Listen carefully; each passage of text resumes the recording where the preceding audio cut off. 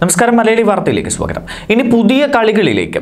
സ്വർണക്കടത്ത് കേസ് അന്വേഷണം നിർണായക നീക്കം നടത്തി എൻ ഒപ്പം സന്ദീപ് നായർക്ക് പുറമെ നാല് പ്രതികളെ കൂടി മാപ്പ് സാക്ഷികളാക്കിയേക്കും. സ്വപ്ന സുരേഷിന്റെ മുൻ അഭിഭാഷകന് കസ്റ്റംസ് സ്റ്റാൻഡിംഗ് കൗൺസിലായി കേന്ദ്ര നിയമനം. സ്വർണക്കടത്ത് കേസ് അന്വേഷിക്കാൻ ആദ്യം എത്തിയത് എൻ ഐ എ ആണ്. സ്വപ്ന സുരേഷിനെയും സന്ദീപ് നായരെയും ബംഗളൂരുവിൽ വെച്ച് പിടികൂടിയതും എൻ ഐ എ ആണ്. എന്നാൽ പിന്നീട് അങ്ങോട്ട് ഇ ഡിയും കസ്റ്റംസും കളം നിറഞ്ഞതോടെ എൻ ഐ എ നിറം മങ്ങി സ്വർണക്കടത്ത് കേസിലെ തീവ്രവാദ ബന്ധം അന്വേഷിച്ച എൻ ഐ എക്ക് കാര്യമായ തെളിവ് കിട്ടാതെ പോയതോടെ തിരിച്ചടിയായി. ഇത് കോടതിയുടെ വിമർശനത്തിന് പോലും കാരണമായി. അതിന് പിന്നാലെ നിർണായക നീക്കം നടത്തുകയാണ് എൻ ഐ എ നയതന്ത്ര പാഴ്സൽ സ്വർണക്കടത്ത് കേസിലെ നാലാം പ്രതി സന്ദീപ് നായർക്ക് പുറമെ നാല് പ്രതികളെ കൂടി മാപ്പ് സാക്ഷികളാക്കാൻ എൻ ഐ എ ഒരുങ്ങുകയാണ്. കേസിൽ അറസ്റ്റിലായ ഇരുപത്തിയൊന്ന് പ്രതികളിൽ ഇരുപത് പേർക്കെതിരെ ചുമത്തിയ യു ഇ പി തെളിയിക്കാനാണ് കുറ്റകൃത്യത്തിന്റെ വിശദാംശങ്ങൾ വെളിപ്പെടുത്തിയ അഞ്ചുപേരെ മാപ്പ് സാക്ഷികളാക്കി വിചാരണ തുടങ്ങാൻ എൻ ഐ എ ഒരുങ്ങുന്നത്.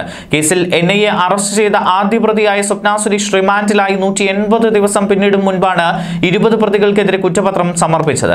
കേസിൽ ഇതുവരെ മുപ്പത്തിയൊന്ന് പ്രതികൾക്കെതിരെ അന്വേഷണം നടത്തുന്നുണ്ട്.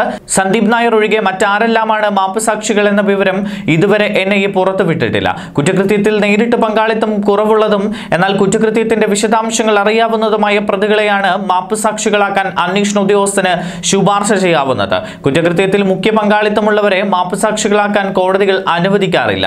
മാപ്പ് സാക്ഷികളെ വിചാരണ കഴിയും വരെ ജുഡീഷ്യൽ കസ്റ്റഡിയിൽ സൂക്ഷിക്കണമെന്നാണ് ചട്ടം.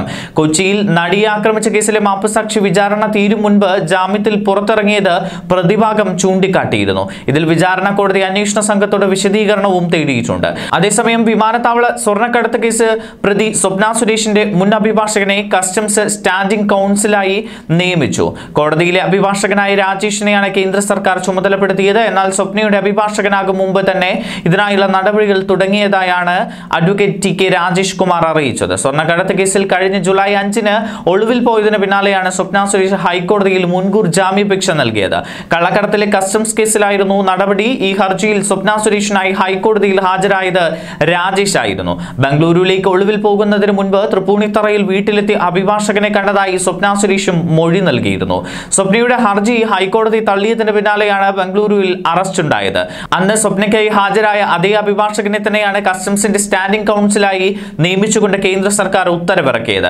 എന്നാൽ സ്വപ്നയുടെ അഭിഭാഷകനാകും മുമ്പേ തന്നെ തുടങ്ങിയ നടപടിക്രമങ്ങളാണ് ഇത് എന്ന് അഡ്വക്കേറ്റ് രാജേഷ് അറിയിച്ചു. രണ്ടായിരത്തി പതിനെട്ടിലാണ് അപേക്ഷ ക്ഷണിച്ചത്. രണ്ടായിരത്തി പത്തൊൻപതിൽ അഭിമുഖ പരീക്ഷയടക്കം നടന്നു. താനടക്കം പതിനാല് പേരെയാണ് സംസ്ഥാനത്ത് നിയമിച്ചത്. ഇതേപോലെ എല്ലാ സംസ്ഥാനത്തും ഒരേ സമയം നിയമനം നടന്നിട്ടുണ്ട്. മുൻകൂർ ജാമ്യാപേക്ഷയിൽ മാത്രമാണ് സ്വപ്ന സുരേഷിന് വേണ്ടി ഹാജരായത് എന്നും കസ്റ്റം സംബന്ധമായ കേസുകളിൽ തന്റെ അനുഭവം പരിഗണിച്ചാണ് നിയമനമെന്നുമാണ് അഡ്വക്കേറ്റ് രാജേഷിന്റെ നിലപാട്. ന്യൂസ് ഡെസ്ക് മലയാളി വാർത്ത.